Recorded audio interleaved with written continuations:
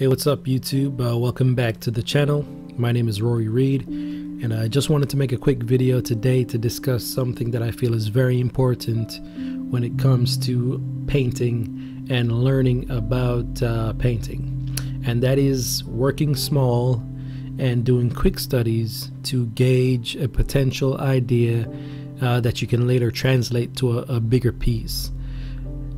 Today I'm going to be working on a 9 by 12 Fredrix canvas panel and I'm going to be doing a cloud study that I thought about on a whim and I wanted to use this little panel to um, flesh out the idea and as I said test it out to see what it would look like and doing it small allows me to save on wasting any materials because as you know painting supplies do get pretty pricey so this is a great way to figure things out before you invest in a bigger uh, piece or a bigger canvas and a ton of materials.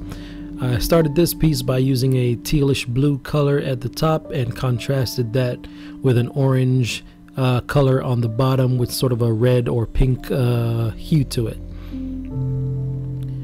for when using acrylic paints as I'm using here it's always good to add uh, multiple layers on top of each other if you want if you're going for like a smooth look.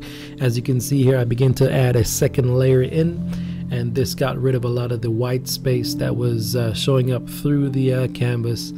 And once I applied that second coat it uh, smoothed everything out and the background looked a lot more presentable um, if this is what the, uh, the, you know the type of style you're you're going for. Once I got the background where I wanted it, it was time to drop in the shape of the cloud. Uh, I was going for like a surrealism sort of style for this piece, and so the first step was to drop in the contour, the shape of the cloud, as you can see here. I did use a random cloud reference that I had in my in my phone, so that's what I'm working from, and I began by using the darkest value I had and just worked out the shape. And then once I had that completed, I used some of the mid-tone colors that I had mixed up prior and started to uh, define the shape or the um, hills and valleys, so to speak, uh, a bit better. As you can see here, using some of the uh, lighter tones as well to define where the highlights are going to be in the piece and um, just focusing on, on making the cloud look somewhat realistic and you know believable. Checking my reference often and um, you know just just going with the flow working working it out. And as I said this is, a, is an excellent way working small is an excellent way to just try things out. Doesn't use didn't use a ton of paint didn't use any expensive materials. The Fredrix canvas panels are very affordable. I believe at my local um, art store it costs like a, a buck and change. So uh, this is a great. I have a ton of these that I use to try new things and you know see how different paints or different mediums work on canvas. And so I suggest you guys do this too if you're, you know, unsure about what you're doing or you don't have a, a set plan. Just get one of these and try it out. It'll work great. And as you can see, I spent a bit more time here just defining the clouds, the shadows, the mids, the highlight areas. And once I got it to where I liked it, and it was uh, pretty similar to my reference, I began to work in some additional colors to sort of give it that surreal look that I set out to um, accomplish. I did end up using this exact color palette and this exact uh, style for a bigger piece that I'll be uploading to the channel uh, in the coming weeks.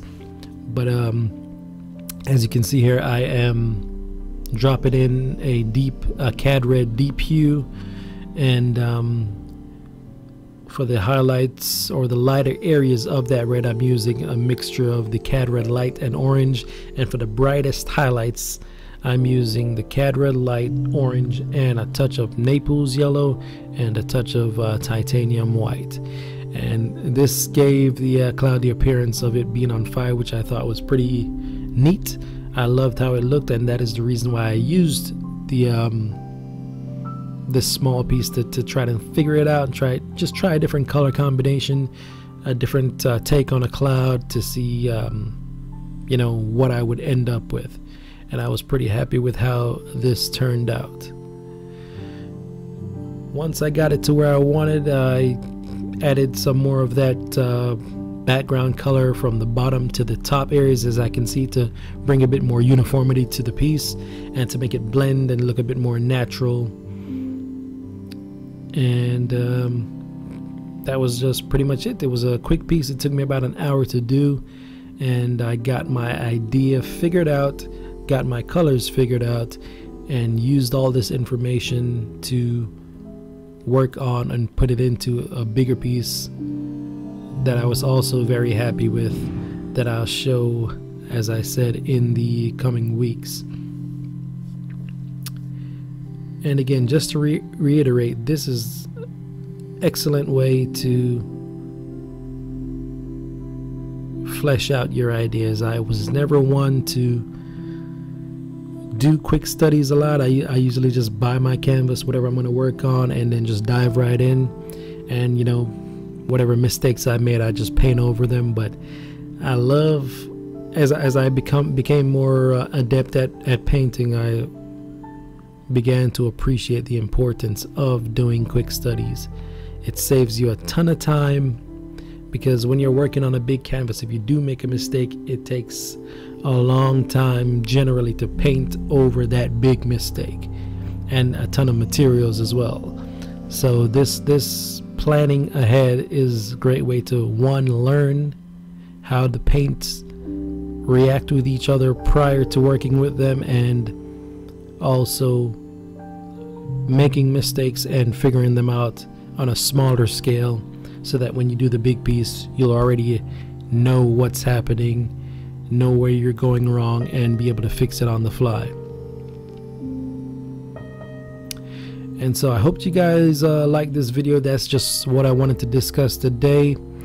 I don't think I have a name for this piece. I, I just called it the uh, cloud study number one and um, yeah if you, you like the video go ahead and um, hit the like button and subscribe also follow me on Instagram and Twitter the links will be in the description below and if you're interested in this piece or any of my other pieces go ahead and visit my website. It's www.roryreidart.com. Link in the description as well.